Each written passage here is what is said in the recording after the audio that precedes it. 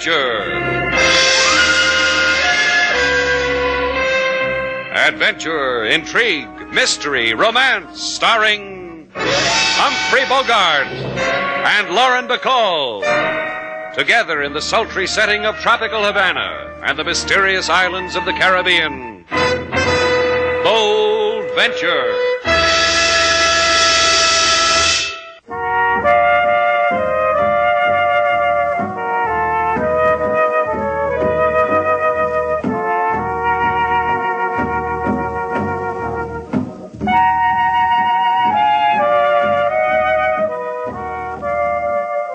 Once again, the magic names of Humphrey Bogart and Lauren Bacall bring you Bold Venture and a tale of mystery and intrigue.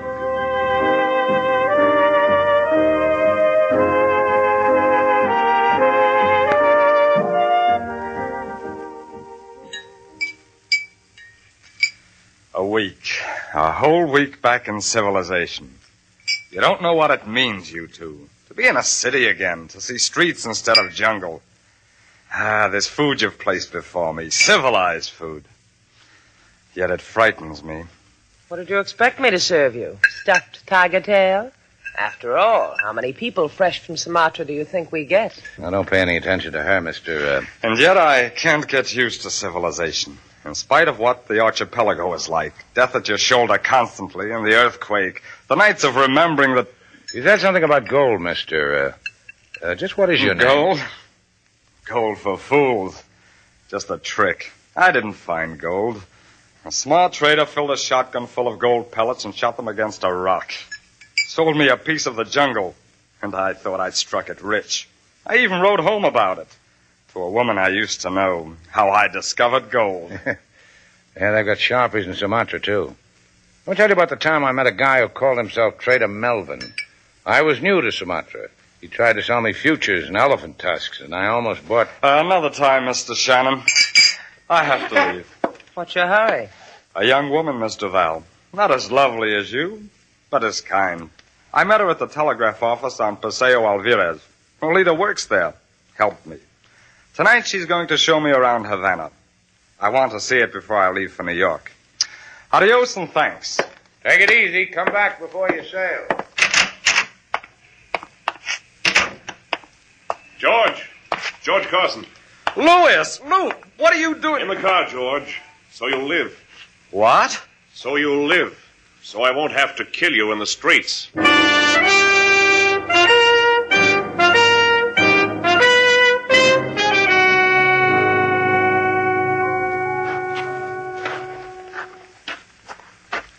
The moon shines bright, the sea pounds, and it's like the beat of my heart. My heart really pounds for you, Carson. Louis, I don't understand what. You're a pathetic man, Carson, a tragic man. I'll bet kiddies and old ladies are going to weep for you. What do you want of me, Louis? What can I give you? Not what you can give me, boy adventurer, what you can take away. We were friends, partners. Now you scratch my back with a knife to bring me here. I would have brought you anyhow. Why? Why? You made a mistake, friend partner. That your shack over there, Carson? Yes. I wanted a place like that. Lonely, apart, so I could adjust. Take civilization easy until. There's a light in it, someone moving around. Well, that's Subi. That's Subi! Stay close, dead man. Subi! You want to die with your mouth open? I make a gesture. Die how you want. Ah! Welcome to civilization, dead man.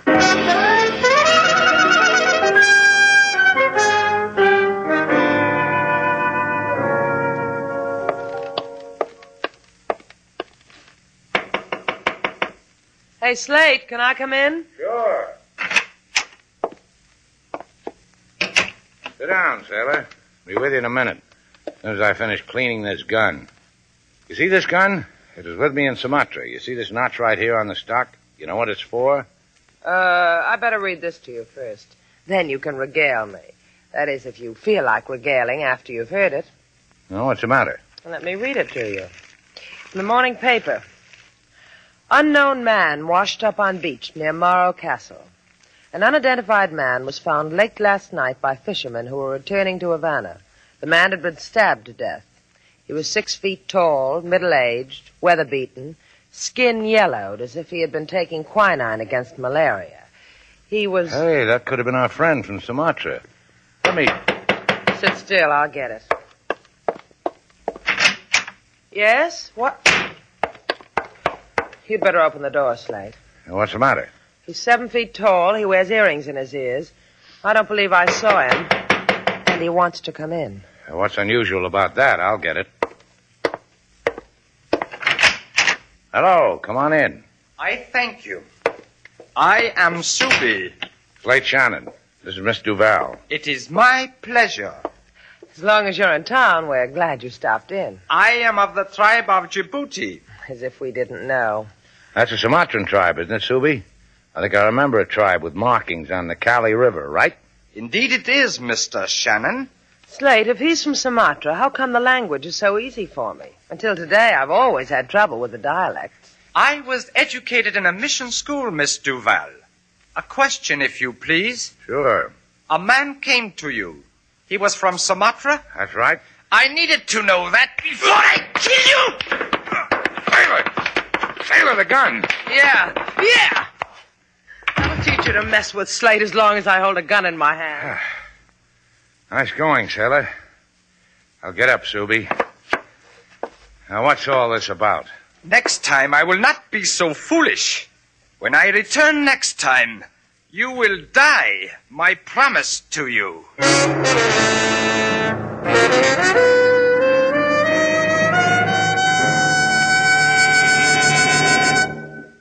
I hardly know how to behave with you, Senor Shannon, Senorita Duval. You come to a humble policeman of your own free will. Shall I order flags in Havana? Rumbas in the street? What is the etiquette? Oh, a fat reward would be dainty. Ah, reward. Reward for what? That you bent a gun barrel over the head of a native from Sumatra who could very well be a fig of your imagination? Fig, he says. Take a look at this gun barrel. Bet you'll find the head print of a tattooed Sumatran on it. I better still take a look at me, LaSalle. Nothing under seven feet tall could work me over like this. Well, that's not counting the pygmy in the jungle who... Not counting the pygmy who. Hey, leave me alone, will you, sailor? I try to explain to the policeman how the guy he found knifed on the beach was a man we fed, traded exciting adventures with. His rang true, anyway. You don't believe me, sailor? You know what you can. Please. And for these kindnesses, the deceased told you perhaps who he was? Only that he'd been in Sumatra, got taken for a phony gold find, had the ground shaken up under him in an earthquake, got fever, acquired a King Kong who promised me a grave. A Man like that shouldn't be hard to trace, LaSalle. And once you know who he is, maybe you. Find his killer? Hmm. This we intend to do. Even if we should discover you were the murderer, Senor Shannon. And now, adios. And thank you for the gorgeous entertainment. Oh, come on, sailor. The man doesn't appreciate us. He appreciates me. Didn't you notice the respectful way he kept staring at me? yeah. Next time we call on the police, sailor, wear your overalls, huh? Come on.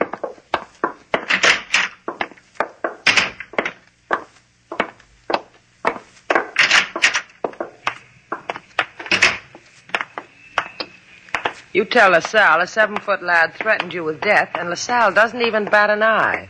You're not liked, Slate. No, I've got news for you, kid. I. Mr. Shannon? You're the thrilling Mr. Shannon? Oh, why, yes, indeedy, miss. I am he. You look as if I can help a girl like you. You can. You will. A man from Sumatra can bring us so close together. You could do that, huh? At my place. So restful there. Coming? Well, as soon as I get rid of. Uh, pardon me. You understand how it is, sailor. A lonely girl needs help, wants to be close. Sure, I understand. You go ahead, Slate. A little bus for old time's sake. Anything you want, honey.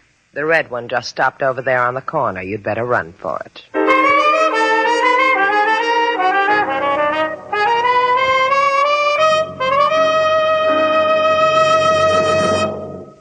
Your friend was wrong. The hurt she gave your feelings has hardly been in the way, has it? Made it more thrilling, baby. You know, pain mixed with delight. It's a thing a man dreams about, works for. Well, I'm a fortunate fellow. I cast my bread on the waters and... And get me. Vera Shea. You don't like the name? Call me whatever you want. Oh, I will. Give us time. Only there's a slight fee, Slate Mine. A mountain of gold on a Sumatra waste. Oh, that. Oh, uh, oh, you mean the gold he told me about? Well, forget it, baby. It, it isn't there. The Sumatra con artist shot a hill full of gold pellets, sold it to our boy. Just because it bothers me. Who was our boy? He's dead. We ought to mention his name. He loved me once. Was it five years ago? Loved me so fine he wrote he'd found gold. You killed him for it, didn't you, Slate? He told you about the gold and you knifed him, let his blood run on the beach. I admire you for that, Slate. Tell me where it is, this mountain of gold, and I'll admire you to its very peak. Thing like that could break up the nice things we're building, Vera. You know how it is. Money is the root of. it. But don't walk away from me. What I got to say should be whispered. Keep talking to me about money, Slate. Your gun makes me tongue-tied, lover. Put it. Ah, wait. I play with guns, Slate. Known for it. You just had the pleasure. You like me better with short sideburns, huh? This way you're alive. 24 hours, Slate. Bring me the location of the gold. Or next time I zero in on your eyes. Hey, you know, I just thought of a name for you, and I like it. Wait up for me, lover.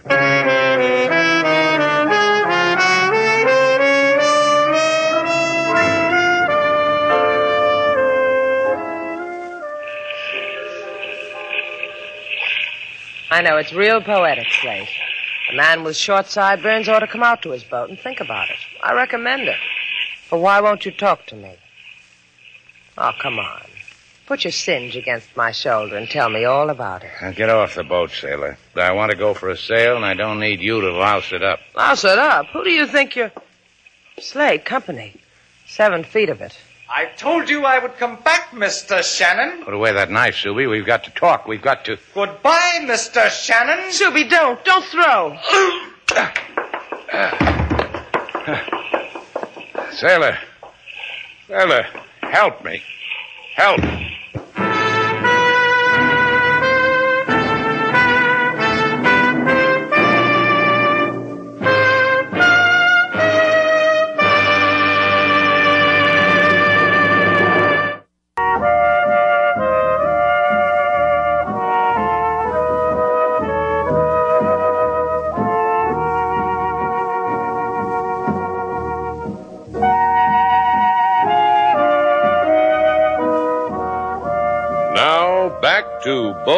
Bold Venture. Our stars, Humphrey Bogart and Lauren Bacall, and the second act of our story.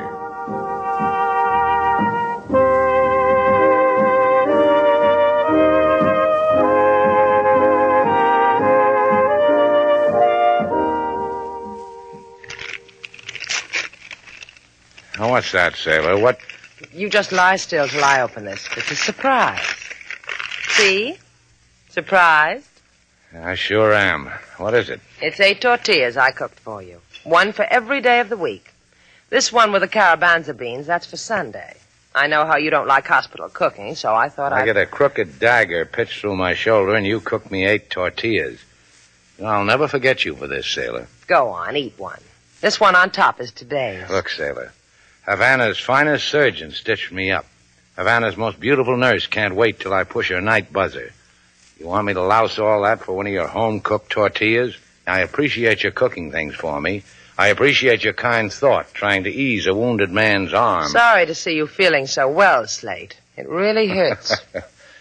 Now, don't pout, sailor. Someday into your life will come a man who... he came, he just went out.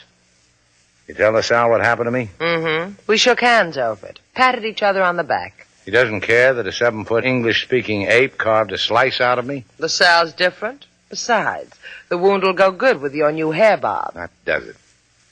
Thought I had a good thing here. Nice surroundings, gentle treatment from kind hands. Now I got to leave it. Get my clothes out of that closet, sailor. Just because I wish you were dead, don't go crazy, Slate. You're not well enough to walk out of here. You're not. Get my clothes. Give me a shoulder for a crutch. I'll show you how well I am.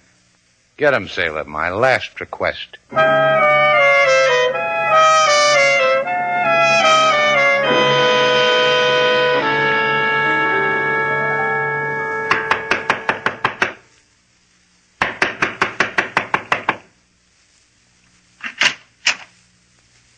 I figured you wouldn't be able to think of anything to say, Louis. Vera, How do you say my name? Surprise? Right? Happy? Come in. Why are you in Havana? I got a wire from George. And I thought a thing. If George sent me a wire, he'd send you one. I didn't want George to get as far as New York, so I thought another thing. You didn't want George in New York either. George found a lot of gold in Sumatra, Louis. Now, where is he? You know he's dead. Why? Because you found out where the gold is and killed him? Gold? Why do you keep asking about gold? Five years ago, George wrote he'd found it. Then I didn't hear from him again till last week. I thought he was dead, Vera. You remember that earthquake in Sumatra? Right after that, no word from him. But the gold, who cares about that? Me. I care a lot. Put away the gun, Vera. I care a whole lot, Louis. Just talk, will you? George was my partner. He left for Sumatra. Hunting trip. He never came back. The business grew. Thousands. Hundreds of thousands. All right. No hysteria, huh? It's the truth. That's why I didn't want George to come back. Half is his. Now it's mine. Part of it. I'm taking his place, Louis. Half, maybe more. I'll think about it. We've got to be careful, Vera. George brought a native with him, a giant, and he's been talking to. Yeah, I know. Slate Shannon. Those people bother you, Louis? Ah, Louis, they don't bother me. They can be gotten to, one way or another.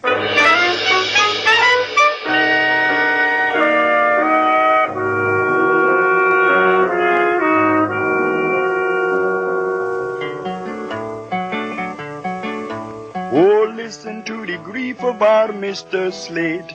He liked to play game with the finger of fate. He feed the mouth of a nameless man and get in return man's corpse in the sand. Then he go to police with open heart after seven foot giant tried to break him apart. Then a lady she hang two bullets near his ears and a knife is thrown a career of tears.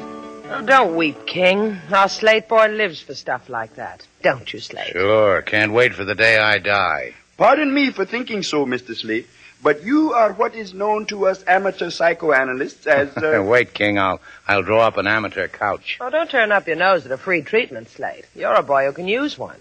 Go on, King. What's Slate known as among you fellows? As a mayhem prone, Miss Sailor, we have long searched for the exact category. We have found it. Mayhem prone. You see, Slate? You see what you are? You see what people are saying about you behind your Now, back? let's ask this customer, sailor. Let's ask him what. Pardon me, sir. Before you register for a room, would you mind taking a good look at me? I want you to. I have, Mr. Shannon. I've looked at you on more than one occasion. And I find it's worth a thousand dollars. Huh? Hey, you hear that, sailor? Gentleman looks at me and it's worth a grand to him. A thousand dollars, Mr. Shannon, because I once saw you with a man from Sumatra. Because I want his name. Oh. The man from Sumatra, huh? You mean the seven foot one or the pocket size edition? The man whom you were kind to. The dead man. A thousand dollars for his name. An easy day's work, Mr. Shannon. I could throw in the name of the big one, too. What's your offer on that? Oh, take it easy, Slate. For a grand, we can come up with the name the gentleman wants. Point of information. What makes a dead man's name worth so much to you? Say it is a whim, a curiosity. Say it troubles me. An anonymous man finds death on a Look, beach. Buster, I can twist it out of you and for nothing. No, you can't, Mr. Shannon, because I can so easily forget what I asked of you, so easily go to the police for the injury you contemplate upon me. Let him go, Slate. Thank you, dear lady. If you should happen to remember his name just by chance, I am at the Florida Apartments. Louis Weigman. Try. Think of a thousand. Remember a name so easy for you. Adios. Slate? Get your hat, sailor. I know somebody who might remember a name.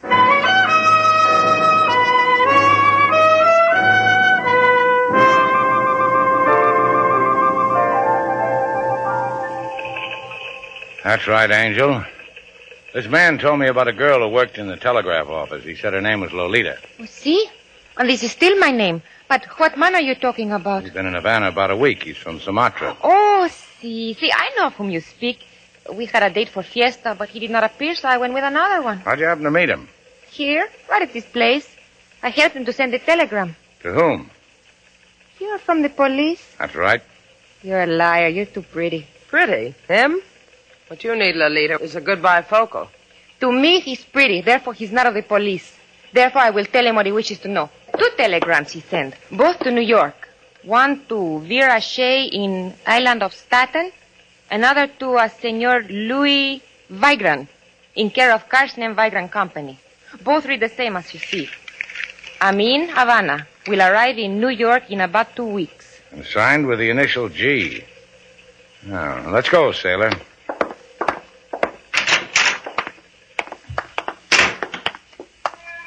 Well, genius, what did we find out on this fine night? That Louis Vigran knew who the man from Sumatra was. All he wanted to find out from me is if I knew he. Sailor, duck!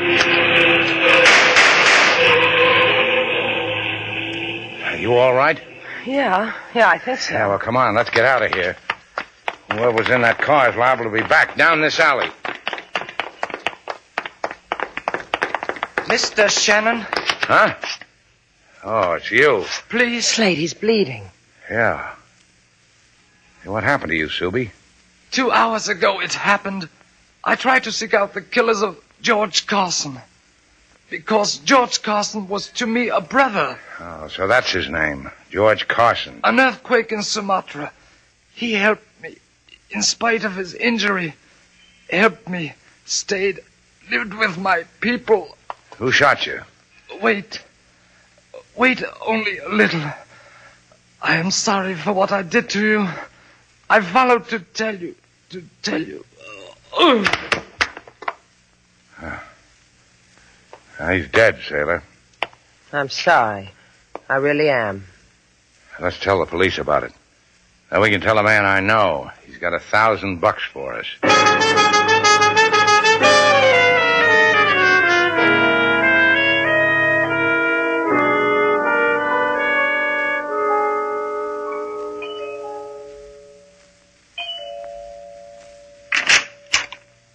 It's you, Shannon.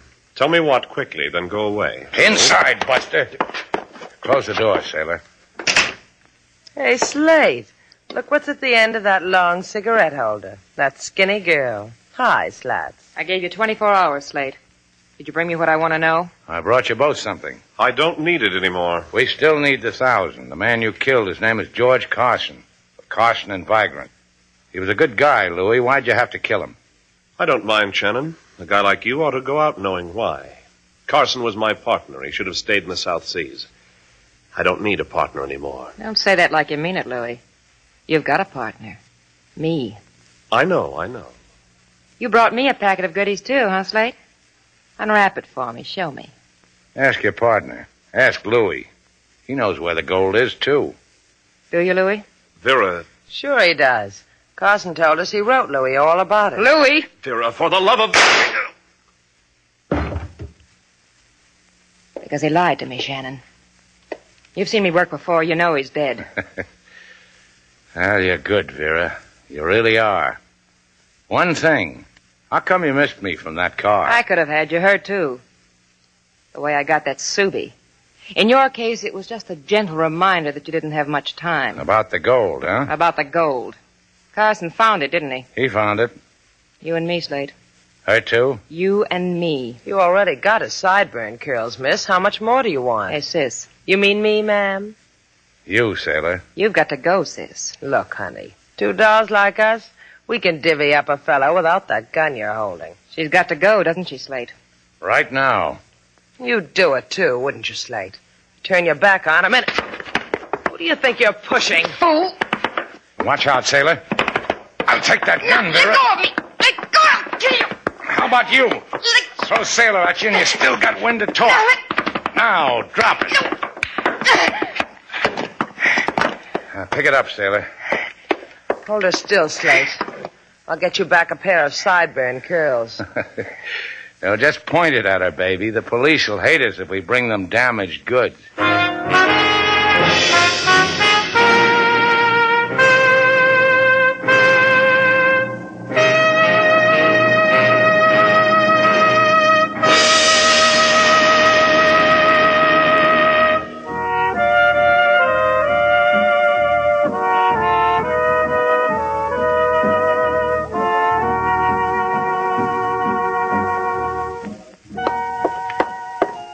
Hey, Slate, where are you? Here I am. Hey, I want to talk to you. How come I'm darning my own socks? I'll tell you later. Stand up. What for? Stand up. Put this apple on your head. You going crazy, sailor? Today I don't need an apple on my head. Oh, humor me. You mean you're going to try to shoot this apple off my head?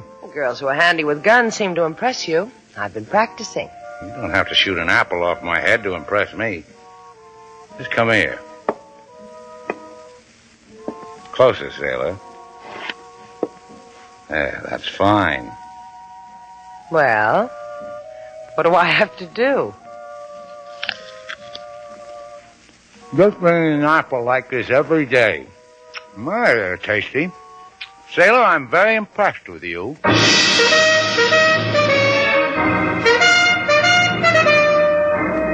So, our two stars, Humphrey Bogart and Lauren Bacall, have brought to a close our latest Bold Venture story. Special music was composed and conducted by David Rose. May we invite you to listen again next week at this time for another exciting adventure starring Humphrey Bogart and Lauren Bacall together in Bold Venture.